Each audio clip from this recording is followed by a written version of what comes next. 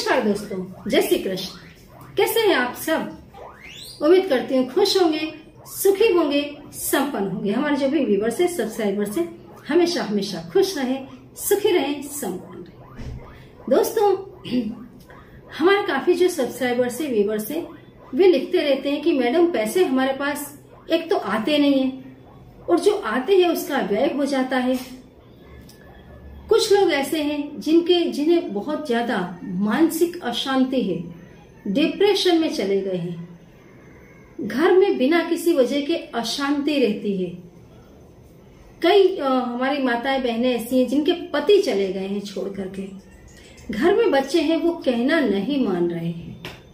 ये तमाम मैं प्रॉब्लम इसलिए बता रही हूँ कि जो मैं सोल्यूशन बताऊँगी, वो सोल्यूशन इन तमाम प्रॉब्लमों से जुड़ा हुआ है। यदि इनमें से कोई भी प्रॉब्लम आपको है तो आप इस उपाय को अवश्य ही कीजिएगा। बच्चे कहना नहीं मान रहे हो। आपको ऐसा लगता हो कि नेगेटिविटी आपको घेर रही है, या आपके अंदर बिना वजह ही तरंगी विचार आते हैं। आपके पास जो नहीं है, वो आप लोगों को दिखा दिखाने की कोशिश कर रहे हैं। अभी आजकल हमारी सोसाइटी में यही हो रहा है। जो नहीं है वो दिखा रहे हैं। दोस्तों मैंने खुद ने एक ऐसा परिवार देखा कि उस परिवार के पास कुछ भी नहीं है। उस उस परिवार के जितने भी सभ्य हैं उन तमाम सभ्यों के पास कोई नौकरी नहीं है कोई धंधा नहीं है। किसी न किसी व्यक्ति के पास से पैसे ले, लेंगे उधार किसी के पास से दस टका में लेंगे फिर पंद्रह टका में घुमाएँगे। और उसी पैसों से वो अपना जीवन निर्वाह कर रहे हैं।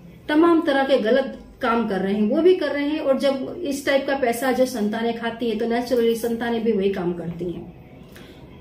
और वे वे लोग कुछ ऐसा दिखावा करते हैं जो उनके पास नहीं है, वो दिखा रहे हैं, और इतने कर्जे में डूबी हुई ज़िंदगी कि हम और आप शायद बिलीव नहीं कर सकते कि कोई व्यक्ति ऐसा कैसे कर सकता है। सिर से पैर तक कर्जे में डूबा हुआ व्यक्ति दिखावा करने से पीछे नहीं हट रहा है।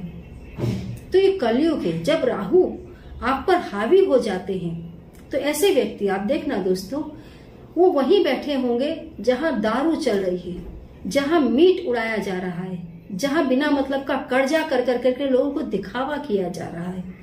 और मैं तो एक या दो परिवार की बात कर रही हूँ, अभी काफ़ी फैमिलीज़ में यह हो रहा है, क्योंकि ये बहुत दुर्भाग्य है हमारे समाज का दोस्तों, कि आज के जमाने में लोगों की वैल्यू उसके चरित्र से उसके अंदर के सत्व गुणों से नहीं हो रही है। उसके पास कितना पैसा है, इसी को देख करके की जा रही है एंड दैट इज़ वाई लोग ये कर्म करने, कुछ जानबूझकर करते हैं, कुछ करने के लिए मजबूर किए जाते हैं, कुछ बेचारे मजबूर हो गए हैं।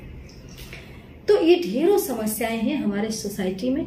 ये छोटे छोटे से उपाय हैं। ये उपाय आपको बहुत मदद करते हैं, आपकी रक्षा करते हैं तमाम बुराइयों से और आपकी लाइफ में पॉजिटिविटी को भरते हैं। आपको क्या करना है दोस्तों? सोमवार के दिन जो लोग शिवालय में जाते हैं, शंकर जी की सेवा पूजा करते हैं, वे लोग तांबे के लोटे में चंदन की एक छोटी सी लकड़ी डालें या चंदन को पानी में मिला लें। जो पूजा पाठ के लिए चंदन आता है, उस चंदन को, गोपी चंदन जो आता है, उसको भी आप तोड़ करके, उसको थोड़ा सा उसका पाउडर करके पानी में मिलाएँ और शिवलिंग पर उसे चढ़ाना शुरू कर दें। चंदन मिश्रित जल। आप शिवलिंग पर हर सोमवार चढ़ाए बुधवार के दिन दिन चढ़ाए और शनिवार के दिन और रविवार के दिन। या इनमें से कोई भी दिन आप चढ़ाना शुरू कर दें। बहुत ज़बरदस्त आपको दोस्तों फ़ायदा मिलेगा। दूसरा इन्हीं दिनों में से कोई भी एक दिन या हर, हर एक दिन जो मैंने दिन बताए आप चंदन का इत्र अपने ऊपर स्प्रे करें। चंदन का इत्र छाटना बिल्कुल भी ना भूलें। कुछ ही दिन में आपको तमाम प्रॉब्लम से राहत मिल जाएगी। चंदन का साबुन, आप स्नान करते हैं तो चंदन के साबुन से स्नान करें।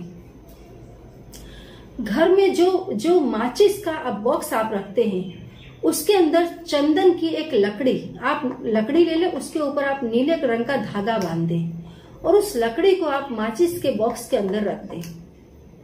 या उस धागे को, उस चंदन की लकड़ी को नीले धागे से बांधकर आप अपने राइट हैंड की बॉडी पर राइट हैंड साइड की बॉडी पर सॉरी राइट हैंड पर आप बाँध लें। ठीक है? या तो राइट हैंड पर बांधें माचिस के अंदर रखें। दोनों ही में आपको अच्छा और बहुत बढ़िया फ़ायदा मिलेगा जो लेडीज़ से मैं अपने लेफ़्ट हैंड पर बाँध लें। जो लोग बहुत ज़्यादा नशा करते हैं, उन्हें भी राहत मिल जाएगी। जो नेगेटिविटी से घिरे हुए हैं, उन्हें भी राहत मिल जाएगी। और सबसे बड़ी बात यह है कि इस उपाय को करने से जो, ये जो कलयुग चल रहा है इसमें ये उपाय दोस्तों आपको लाखों नहीं, करोड़ों रुपए की आमदनी करवा देगा।